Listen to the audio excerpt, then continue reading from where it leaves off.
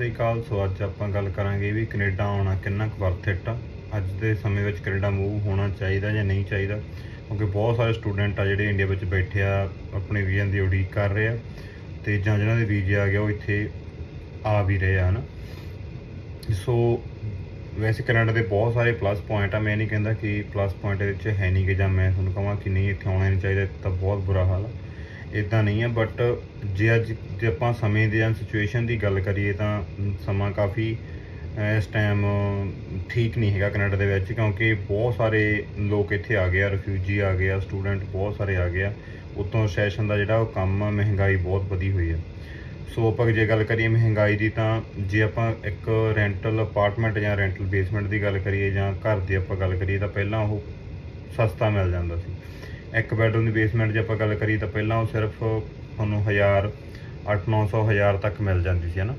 ਪਰ ਜੇ ਆਪਾਂ ਅੱਜ ਗੱਲ ਕਰੀਏ, ਜੇ ਲੀਗਲ ਬੇਸਮੈਂਟ ਲੈਣੀ ਹੈ, ਜਿਹੜੀ ਪ੍ਰੋਪਰ ਬਣੀ ਹੋਈ ਆ ਉਹ 1500 1600 ਦੀ ਮਿਲਦੀ ਹੈ, ਇੱਕ ਸਿੰਗਲ ਬੈੱਡ ਦੀ ਬੇਸਮੈਂਟ ਜਿਹਦੇ ਚ ਉਹ ਜਿਹੜਾ ਓਨਰ ਆ, ਉਹ ਕਹਿੰਦਾ ਕਿ ਮੈਂ ਦੋ ਬੰਦੇ ਹੀ ਰੱਖਣੇ ਫਿਰ ਦੋ ਬੈੱਡ ਦੀ ਬੇਸਮੈਂਟ 21 2200 ਤੇ ਫਿਰ ਅੱਗੇ ਤੁਸੀਂ ਦੇਖ ਲਓ ਕਿ ਘਰਾਂ ਦੀ ਕੀਮਤ ਆ ਉਹ 4-4000 35-3500 ਉੱਤੇ ਚਲੇ ਜਾਂਦੀ ਹੈ ਨਾ ਜੇ ਆਪਾਂ ਗੱਲ ਕਰੀਏ ਖਾਣ ਪੀਣ ਦੀ ਤਾਂ ਗਰੋਸਰੀ ਦੀ ਤਾਂ ਉਹ ਪਹਿਲਾਂ ਜੇ 100 ਦੀ ਆਉਂਦੀ ਸੀ ਤਾਂ ਹੁਣ ਉਹ 150 ਤੋਂ 170 70 ਦੇ ਨੇੜੇ ਹੋ- ਆਉਂਦੀ ਹੈ ਇੱਕ ਜਾਣੇ ਦੀ ਹਨਾ ਜੇ ਨਾਰਮਲ ਕੁਝ ਵੀ ਆਪਾਂ ਐਕਸਟਰਾ ਨਹੀਂ ਲੈਂਦੇ, ਸਿਰਫ ਆਪਾਂ ਜਿਵੇਂ ਦੁੱਧ ਵਗੈਰਾ ਹੋਇਆ, ਆਟਾ ਵਗੈਰਾ ਹੋਇਆ, ਸਰ, ਜਾਂ ਫਲ ਸਬਜ਼ੀਆਂ ਲੈਣੇ ਇਹੀ ਇਦੋਂ ਉੱਪਰ ਆਪਾਂ ਨਹੀਂ ਕਹਿੰਦੇ ਹਨਾ ਉਹ ਇੰਨੀ ਕੁ ਤੁਹਾਨੂੰ ਇੱਕ ਮੰਥ ਦਾ ਤੁਹਾਨੂੰ ਚਾਰਜ ਹੁੰਦਾ ਜੇ ਤੁਸੀਂ ਨਾਰਮਲ ਗਰੋਸਰੀ ਕਰਦੇ ਤੇ ਫਿਰ ਹੈਗਾ ਜੀ ਕੰਮ ਰੈਸੈਸ਼ਨ ਬਹੁਤ ਚੱਲ ਰਿਹਾ ਇਸ ਟਾਈਮ ਜੌਬਸ ਜਾ ਰਹੀਆਂ ਨੇ ਨੌਕਰੀਆਂ ਮਿਲ ਨਹੀਂ ਰਹੀਆਂ।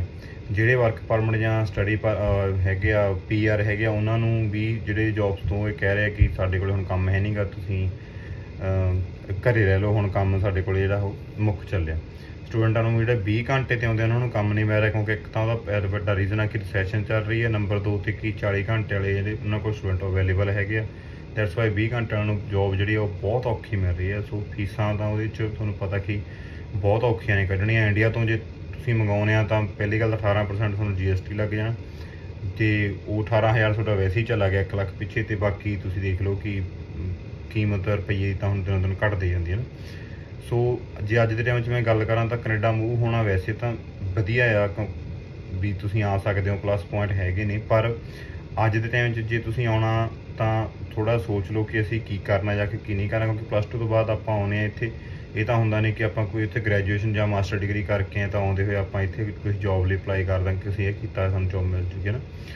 ਤੇ ਲੇਬਰ ਹੀ ਕਰਨੀ ਆ 2000 ਤੋਂ 2500 ਤੁਹਾਨੂੰ ਡਾਲਰ ਮੰਥਲੀ ਬਣਨਾ, ਜੇ ਤੁਸੀਂ ਫੁੱਲ ਟਾਈਮ ਕਰਦੇ ਹੋ ਸਟੂਡੈਂਟ ਹੋ ਤਾਂ ਤੁਹਾਨੂੰ 1200 ਡਾਲਰ ਇੱਕ ਮੰਥ ਦਾ ਬਣਨਾ ਨਾ। ਸੋ, ਸੋਚ ਲਓ ਕਿ ਅਸੀਂ ਕੀ ਕਰਨਾ ਹੈ। ਜੇ ਨਹੀਂ ਤਾਂ ਤੁਸੀਂ ਰੁਕ ਜਾਓ, ਸਾਲ, ਦੋ ਸਾਲ ਰੁਕ ਜਾਓ, ਸਭ ਕੁਝ ਚੇਂਜ ਹੋ ਜਾਣਾ, ਠੀਕ ਹੋ ਜਾਣਾ, ਫਿਰ ਤੁਸੀਂ ਜ਼ਰੂਰ ਕੈਨੇਡਾ ਆਉਣ ਦੀ ਟਰਾਈ ਕਰੋ, ਕੈਨੇਡਾ ਆਓ, ਜੇ ਤੁਹਾਡਾ ਬਣਦਾ ਤਾਂ। ਹਨਾ ਪਰ ਸਭ ਕੁਝ ਚੇਂਜ ਹੋ ਜਾਣਾ, ਪਰ ਜੇ ਅੱਜ ਦੇ ਟਾਈਮ 'ਚ ਮੈਂ ਗੱਲ ਕਰਾਂ ਤਾਂ ਤੁਸੀਂ ਸੋਚ ਲਓ ਅਸੀਂ ਕੀ ਕਰਨਾ ਹੈ। ਇੰਡੀਆ ਪੜ੍ਹ ਲਓ ਗ੍ਰੈਜੂਏਸ਼ਨ ਕਰ ਲਓ, ਇੱਧਰ ਆ ਕੇ ਓਪਰਚੁਨਿਟੀਜ਼ ਬਹੁਤ ਨੇ ਜੇ ਤੁਸੀਂ ਗ੍ਰੈਜੂਏਸ਼ਨ ਕਰਕੇ ਆਉਂਦੇ ਆ ਪਲੱਸ 2 ਨਾਲੋਂ ਕੋ- ਬਹੁਤ ਸਾਰੇ ਮੈਂ ਦੇਖਿਆ ਜਿਹੜੇ ਆਏ ਨੇ, ਜਿਨ੍ਹਾਂ ਨੇ ਇੰਡੀਆ ਦੇ ਵਿੱਚ ਮਾਸਟਰ ਡਿਗਰੀਆਂ ਕੀਤੀਆਂ ਹੋਈਆਂ ਨੇ ਜਾਂ ਆਪਾਂ ਕਹਿੰਦੇ ਬੀਐਸਸੀ ਕੀਤੀ ਹੋਈ ਹੈ ਕਿਸੇ ਚੀਜ਼ ਦੇ ਵਿੱਚ।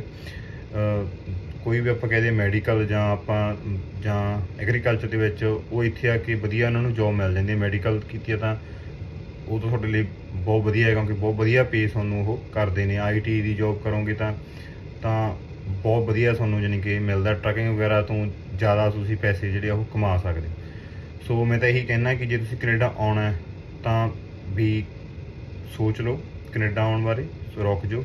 ਕੈਨੇਡਾ ਆਉਣਾ ਵਰਥ ਹੈ ਕਿ ਨਹੀਂ ਹੈ ਫਿਰ ਤੁਹਾਨੂੰ ਆਪਣੇ ਆਪ ਸਮਝ ਆ ਜੂ ਕਿ ਅਸੀਂ ਕੈਨੇਡਾ ਜਾਵਾਂਗੇ ਤਾਂ ਸਾਡੇ 'ਚ ਕੀ ਫਾਇਦਾ ਤੇ ਕੀ ਨੁਕਸਾਨ।